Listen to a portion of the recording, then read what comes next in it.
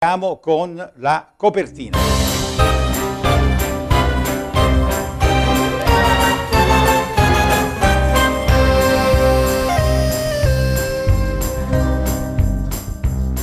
Il tempo non esiste, è la convinzione di un pittore italo-calabrese, Pino Conestabile, che utilizza il tempo, come stiamo vedendo adesso. Chi ti ricorda questo, questo orologio, Gaiana? È mio amico Salvador Dalì. Ecco, è stato tuo amico Salvatore Dalì, c'è già una eh, che, che sta, ha avuto l'amicizia di, Salvatore Dalì. Facciamolo vedere questo orologio di Salvatore Dalì, voilà.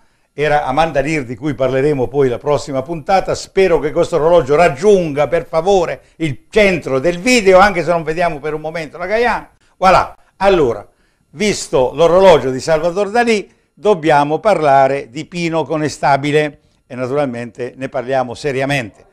Pino Conestabile ha scritto recentemente un ponderoso libro di 200 pagine per dimostrare tre cose. Una, che il tempo non è un'entità aritmetica, cioè il tempo è qualcosa di astratto. Beato lui perché io il tempo mi comanda tutti i giorni, dalla mattina alla sera, ed è tiranno, come si suol dire.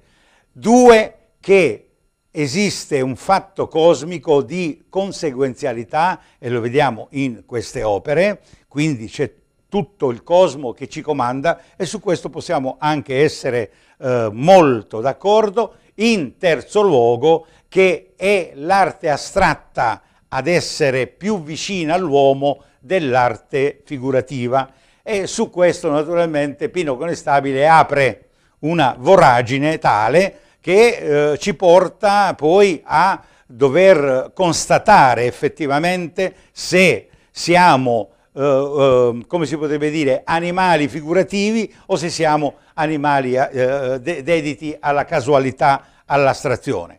Naturalmente avrete capito, anche perché state vedendo le immagini in questo momento, tutte le opere o quantomeno le, le, eh, le teste di serie delle opere di Pino Conestabile che l'artista è, oltre che un pensatore, e beh, è un pittore intanto che sa scrivere augurabilmente sa anche leggere e soprattutto perché no, non è sempre così, eh? non sempre gli artisti sanno eh, eh, esprimere quello che fanno in pratica.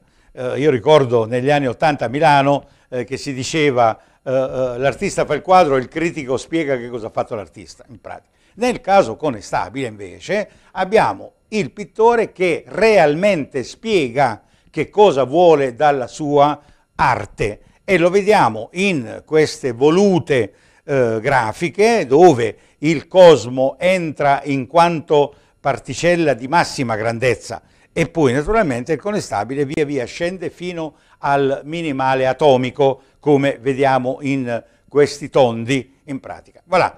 La copertina l'abbiamo data proprio per questa ragione. Ricorderete che nelle scorse settimane, per esempio, abbiamo dedicato la copertina a una pittrice che lavora esclusivamente con le mani, senza pennello e senza alcuna attrezzatura e quindi meritava la copertina. Oggi la copertina l'abbiamo eh, fatta eh, meritare assolutamente, l'abbiamo assegnata a un pittore che pensa.